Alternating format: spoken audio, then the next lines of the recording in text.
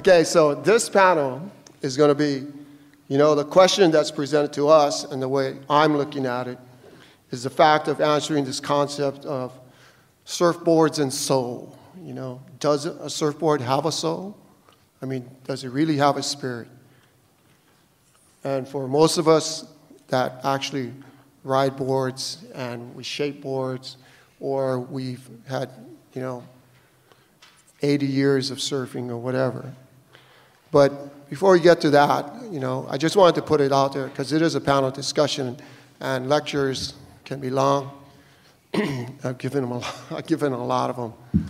But, you know, a little background is that I wasn't really a part of the industry itself, though the industry of modern surfing created me at the same time.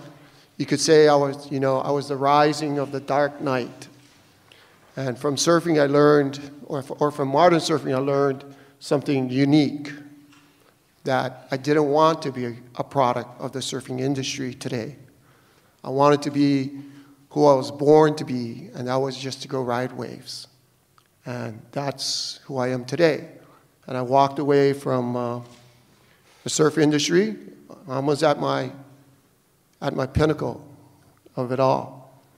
And the reason I walked away, and the reason I think of myself as a dark knight, is because in one way, a part of me, or a portion of me, was dying. And I was, you know, my involvement in drugs and shooting people and just going crazy because of my ego. And so when I look back at life, you know, I stepped aside in about 74, 75 at a very young age, uh, and you know, I figured I could dominate everything, but there was a calling to home and a calling to the ocean. And I wasn't finding it there in surfing. So I gave all my boards away and walked away. And I never looked back till 1988 when I was captured, kidnapped, put in a boat, and dragged off to a surfing destination. But I was surfing. I was surfing in a different way. My uh, journey took me to unique places that I had forgotten about in my home, and that was the ocean. And I lived in the ocean, I grew up in the ocean, I was born to the ocean, and the ocean is my home, my mother, and my lover.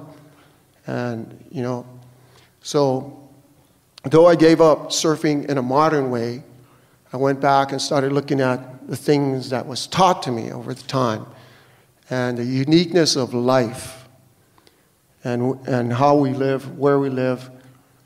And it's a place that's not just a part of Hawaii, it's also our Mother Earth. And we're all a part of that, of that planet, or this planet.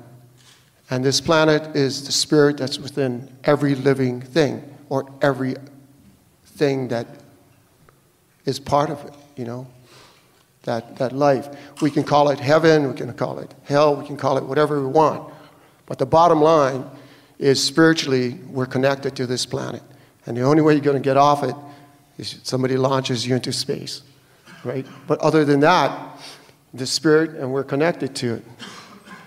And, you know, we're going down this road, and so I looked at waves, I looked at surfboards as the question comes up whether it has a spirit, a soul, and what we think about it. And I slept with every single board I ever had. Any female that was there, they could go sleep someplace else, or they could sleep with my surfboard too. But I slept with every single board I've ever had. There are exceptions. Some of them were just too big. and I couldn't handle. them. So I had to put them aside. And then there are a few that end up elsewhere, uh, and they're not my boards. They belong to somebody else, though I may have uh, had a hand in creating them. But the most unique board that I never had an opportunity to touch was my first board. My first surfboard was created by my father, and that's where I learned to carve wooden surfboards. Because I was a very spoiled kid, because I come from a very unique native way of thinking of a family, right? And firstborn son, and with that, my dad knows I'm just going to be in the ocean every day, and I was. So at five years old, I demanded a board, and I knew exactly the board I wanted. And that's when Wardy had a shop in Hawaii, uh, just outside of Waikiki. It was a beautiful olive green surfboard, longboard. It was 9.6, and that's the surfboard I wanted. Except we couldn't afford it. So my dad goes out, finds a piece of wood, comes back, and I watched him spend a week carving it by hand. And when he looked at me and said, Here, here's your surfboard, let's go surfing. I told him I hated it. I just hated it. So, right there on the spot, he broke it, threw it in the fire. And that's pretty much how, when I quit surfing in 75, I look back at that. And that was the thing that called to me the most. Because, you know, you can't get back something that you've given away forever because of your stupidity. And that made me realize the importance of every surfboard I had, every surfboard I gave away, and the great shapers that shaped for me Dick Brewer, Diffenderfer. I mean, I learned so much from uh, Mike Diffenderfer, and I had the opportunity of riding his boards during the changing times when we were transitioning from longboards to uh, specialized surfboards to just unique shortboards. And I rode some of the best boards. And the greatest board I had in the modern era was made by Mike Diffenderfer, and that was my balsa board that I actually tracked down after many years when it got some guy sold it without my permission, and I finally found it three years ago. And it had transitioned itself. It had gone from a beautiful board created by Mike Diffenderfer to a chopped up short board that just died. I couldn't believe in South Africa they were so ludicrous that they didn't even know the value of that board.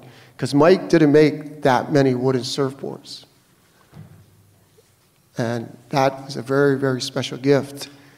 And though he was disappointed that I lost it, it was great to know that it ended up in somewhat still having a life. And I don't know about you guys, and when we talk about whether or not surfing has a spirit or surfboards have spirits, but every board I touch, to me, is my opportunity to revive that piece of wood and give its life back. And that's how I actually shape.